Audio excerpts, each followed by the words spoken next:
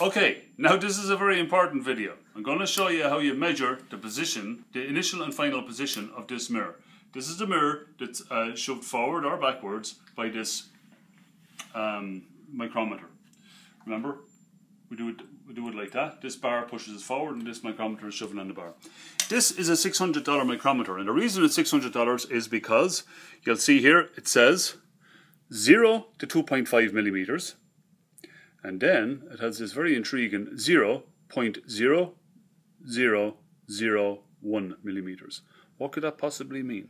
It means that this is accurate to 0.0001 millimeters, which is 10, which is 100 nanometers, which is one sixth the wavelength of red light.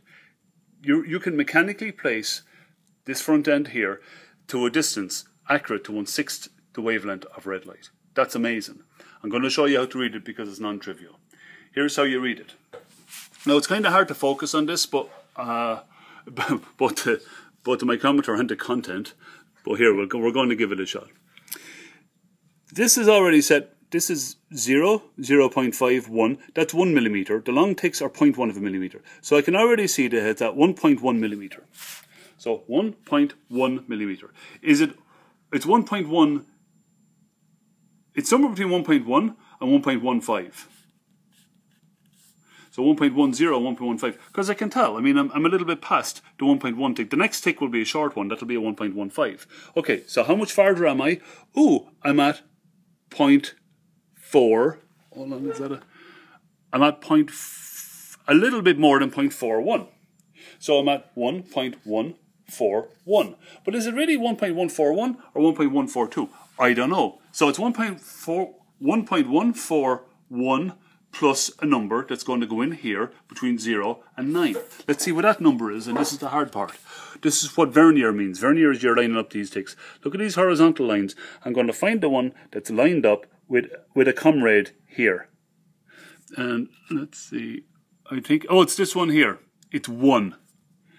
That, one, that is lined up with 1. So it's 1. So the answer is, the mirror is now a 1.141 one.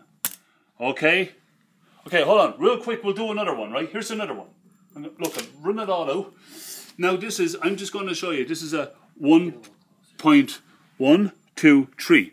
1.3, it's somewhere between 1.3, 0 and 1.35. What's the extra bit? Oh, the extra bit is 0.25, 0.26, 0.27.